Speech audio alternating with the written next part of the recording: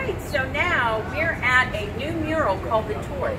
This was uh, dedicated just about a year ago. It features 15 African American celebrities, politicians, and other musicians as well. This was actually chosen, these 15 African Americans, from the community, which is what they do a lot with these murals, is they find out what the, what's important to the community, what they would love to see. So 30,000 people all voted, and here's the 15 we have. We'll start with President Obama and First Lady Michelle. Up top, we have Harriet Tubman.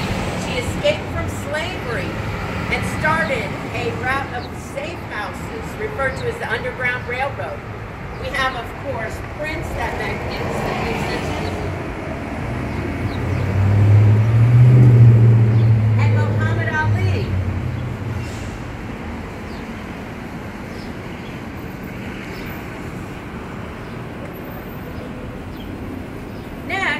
featured is Chuck Brown, the father of go-go music which is one of the fabulous types of music that uh, we can say that here in Washington, D.C., we invented go-go music.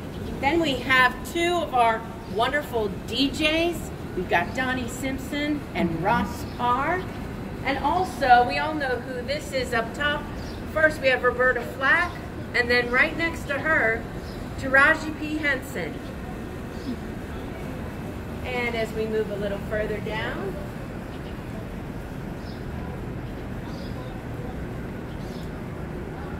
our delegate to the United States Congress, Eleanor Holmes Norton. Beside her, a beloved NBC News anchor, Jim Vance. And next to him, Marion Barry. Again, one of our famous mayors of Washington, D.C. And to finish off the mural, we have Dave Chappelle and Dick Gregory. Both wonderful comedians in their own right who have strong ties to the Washington, D.C. community. So now, let's move on to our next location.